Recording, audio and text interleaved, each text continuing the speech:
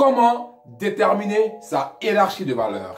La qualité de la vie que nous menons aujourd'hui est fonction de la nature des choix que nous opérons dans notre vie. Ce qui veut donc dire que le style de vie que vous avez aujourd'hui n'est rien d'autre que le reflet de l'ensemble des résultats que vous avez obtenus jusqu'à date.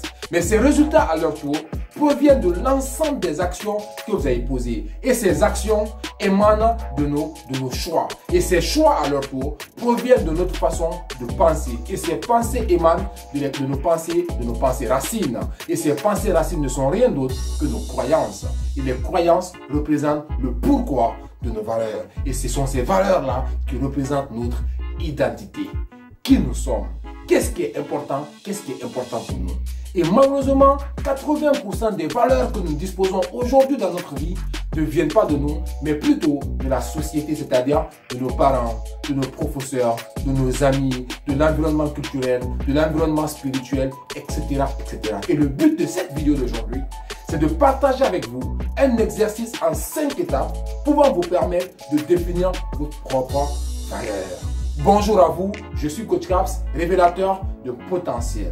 Dans cette vidéo d'aujourd'hui, je partage avec vous un exercice en 5 étapes pouvant vous permettre de définir votre hiérarchie de valeurs. Mais avant, vous devez comprendre et retenir que les valeurs représentent le moteur même de la, de la motivation. Les valeurs nous orientent dans notre processus de prise de décision. Car à travers nos valeurs, on peut tenir nos engagements. À travers nos valeurs, on peut aller au bout des décisions que nous prenons.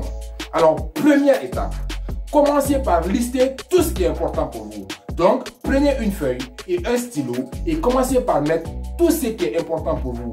Tout ce qui vous vient dans la tête, mettez sur papier. Par exemple, le respect est important pour vous, mettez. La sécurité est importante pour vous, mettez. La liberté importante pour vous, mettez. L'honnêteté est importante pour vous, mettez. La vérité importante pour vous, mettez. L'argent est important pour vous, mettez. Tout ce qui vous passe par la tête en ce moment-là, mettez et mettez le maximum 20, 30, 40, 50, mettez tout ce qui vous passe par la tête.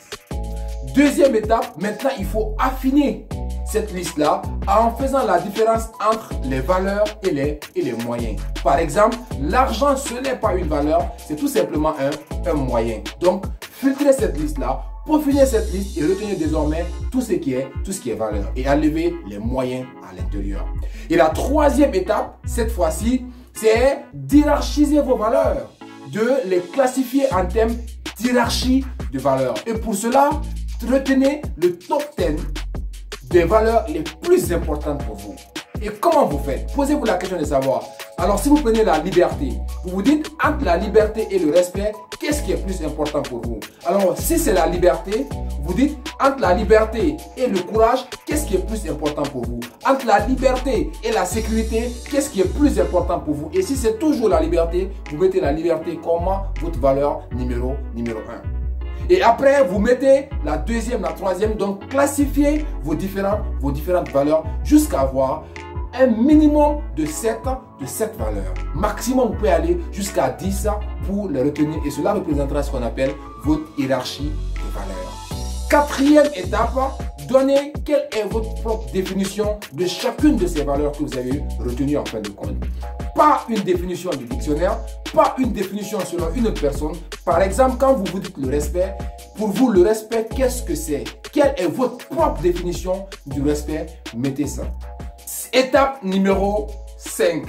Posez un instrument de mesure. Quelque chose qui peut vous permettre de savoir que vous êtes en train de respecter ces différentes, ces différentes valeurs-là. Par exemple, si la sécurité est une valeur pour vous, Qu'est-ce qui vous permet, vous, de vous dire que vous avez cette, cette sécurité-là? Par exemple, c'est de vous dire que c'est quand vous aurez 6 mois à un an de vie. Donc, ça veut dire que tout ce que vous devriez faire, qui ne vous permet pas de pouvoir aller vers cela, n'est pas important, n'est pas important pour vous, tout simplement.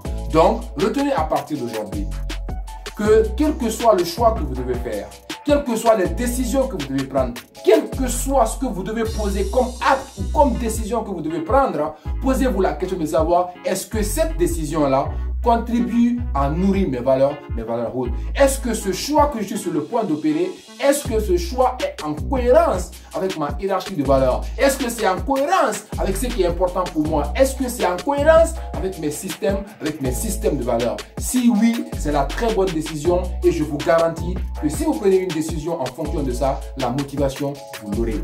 Cependant, toute action, tout choix, toute décision qui n'est pas en cohérence avec vos systèmes de valeurs, ayez ce courage-là de dire non face à cette décision-là et de vous concentrer désormais sur ce qui est en accord avec votre hiérarchie de valeurs et ce qui peut nourrir votre hiérarchie de valeurs. Alors si cette vidéo d'aujourd'hui vous a plu, likez-la, mettez-moi en commentaire quelles sont vous, vos valeurs et au-delà de ça, s'il y a un autre sujet sur lequel vous voudriez que je puisse intervenir, n'hésitez pas, mettez ce sujet pour moi en commentaire et partagez et partagez la vidéo. Merci à vous.